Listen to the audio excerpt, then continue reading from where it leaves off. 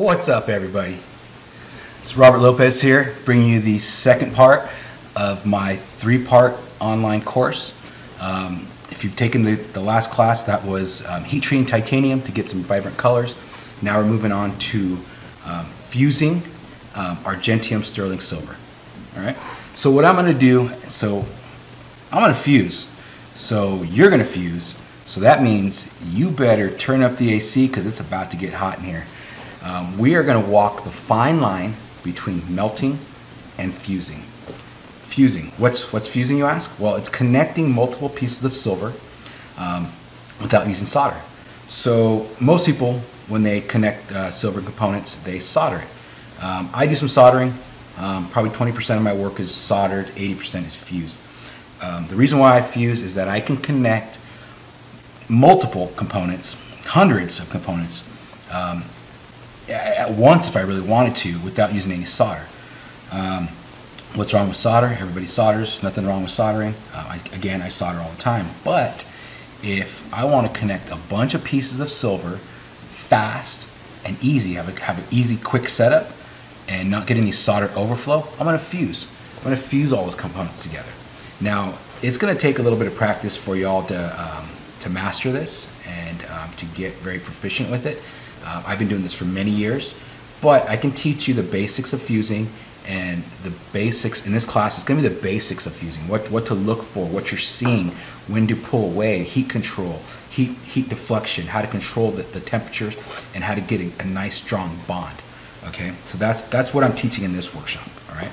So the benefits again of fusing versus soldering is that the main thing is that you don't have to do all that setup. You don't have to put all those little pieces of solder everywhere. and You don't have to do all that little setup, right? Second of all, when you solder, sometimes if you solder a bunch of pieces together, um, you get a lot of overflow. You get solder going in areas you don't want it to go, right? Besides the joint, it goes over the top plate, it goes over granules, it goes all over the place, right? Well, you have to try to either clean that up and get rid of the solder on the areas that you don't want it, um, and if you don't, if you think you got it all cleaned up and then you polish the piece, you finish the piece, make it all bright and shiny, eventually what happens is you'll spend all that time cleaning up your joints, right? You'll get rid of you, what you thought you got rid of the solder. Well, eventually the solder, the, all the joints will start showing up because solder tarnishes differently than silver does. It tarnishes at a different rate, which is usually a, a faster rate. Um, so you'll spend all that time cleaning up your joints. It'll look pretty. A month later, all your joints will start showing up. Seams will start showing up because the solder tarnishes differently. Well, with fusing, you don't have any solder, so it's, it's all the same metal. It's all it's all argentium sterling silver. So as it starts to discolor slightly over time, if it does, it's all going to do that at the same rate. Okay, it's all going to it's all going to look the same. Um, argentium is tarnish resistant, so you you will get very little of that, if if any. Um, but it's all the same metal. Now in my work, I always add just a, a butt ton of, of, of components. Just I'm just stacking stuff. I'm throwing stuff out. I'm granules and wire and water cast and, and, and the sink and, and knickknacks and patty and doohickeys. I'm just throwing stuff at it, right? I'm just layering and layering. Well, to solder all that, pain in the butt. Pain in the butt. It's just, it's not it's not cool. It's not cool at all. So I fuse. I can and I can like I said I can fuse 50, 60, 70 components at once. Um, in this project, we're not going to get that crazy. We're just going to fuse a few things here and there. Um, I think it's about 20 something pieces, little components. And um, I'll show you how to do it in steps. That way you're not melting things. And then um, you'll add another layer and then you'll fuse that. We'll do a little couple extra little things. But again, this is just the basics of fusing. I'm trying to get you, um, I'm trying to teach you the basics of it after this course, uh, after I make a few more courses, I'll start getting more technical. I'll start adding more things, more techniques, and we'll, we'll in my other courses, we'll, we'll fuse more stuff. But I'm just trying to teach you how to, how to crawl right now, okay? How to crawl, and then the next ones will be walking, and then we'll get running, and then we'll get to flying. We'll, we'll, we'll do these crazy things where we're just throwing all kinds of pieces on it, and you can fuse those together without melting it. Um, and if you're concerned about uh, its strength, it's very strong. If you do it correctly, if you get a deep fuse, um, these joints are very strong. So what we're going to focus on is getting a deep fuse. Um, there's people out there that I've watched and they do some fusing with argentium and it seems like to me like they're they're just doing a tack fuse. Um, I like to get a, a, deeper fuse. with my pieces so that I know that they're really gonna they're, the, the connections are strong. That they're gonna they're gonna they're gonna hold on that uh, hold on really well. You can bend it, you can hammer it, and those pieces will stay on. Um, so again, this is the piece.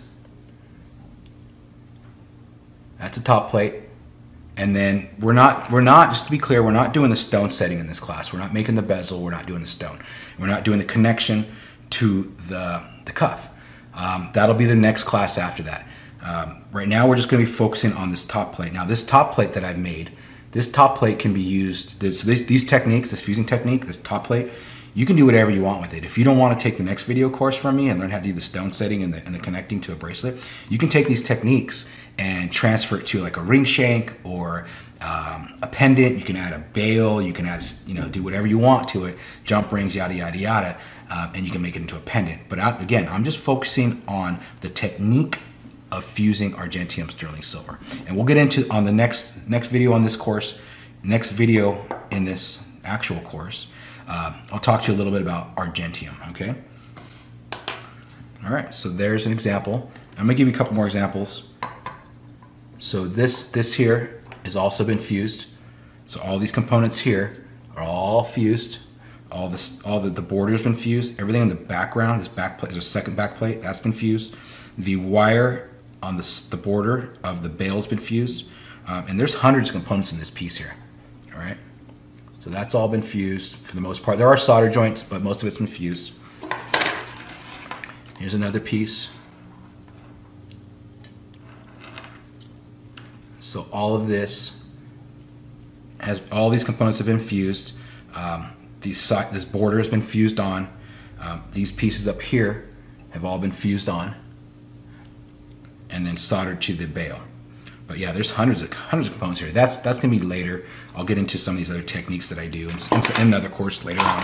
You know, a month from now, a couple months from now. And here's another example.